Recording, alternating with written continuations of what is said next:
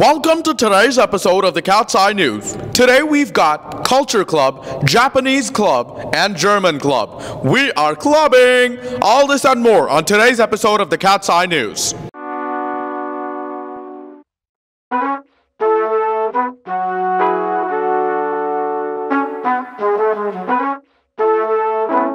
Hey Novi, this is Luke back again to give you some news with the next German Club meeting. The meeting will be on Monday, the 18th, in room 245. They're going to be learning about German culture in the US, like the Pennsylvania Dutch, through food, presentations, and crafts like Scherenschnitte, which is paper cutting. That's all I have for today, and as always, this is Luke signing off. What's up, Novi? Culture Club is meeting Friday, March 15th in room 182 at 2.50 p.m. and will be focusing on the culture of Armenia.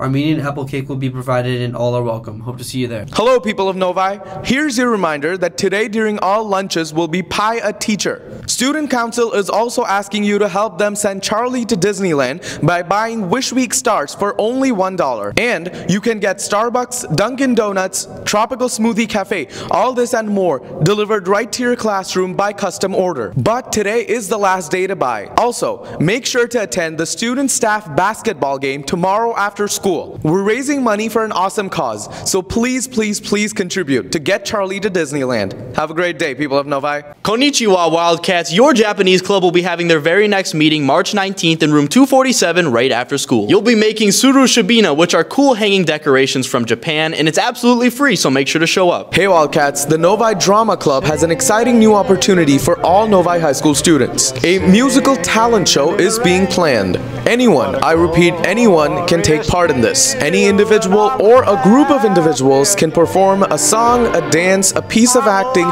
or even playing a musical instrument. The only requirement for a selection itself is that it has to be from a piece of musical theater. No in-person auditions are necessary, but you are required to send a video of your practice performance to heather.mckeg at novik12.org by Friday, March 15th. This opportunity is open to anyone and everyone. This musical theater talent Showcase is indeed a fundraiser for our upcoming musical, Singing in the Rain. Please consider being a part of the showcase by acting, singing, dancing, juggling, anything you can think of related to musical theater. And get hyped for the musical, Singing in the Rain.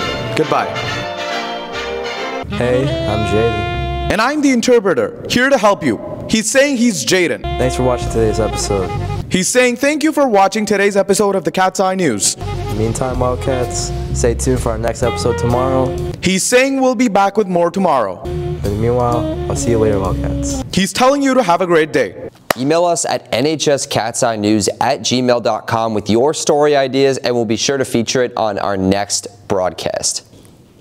Be sure to send it to this email and not Mr. Letarte for the best chances of seeing your email. See you later, Novi.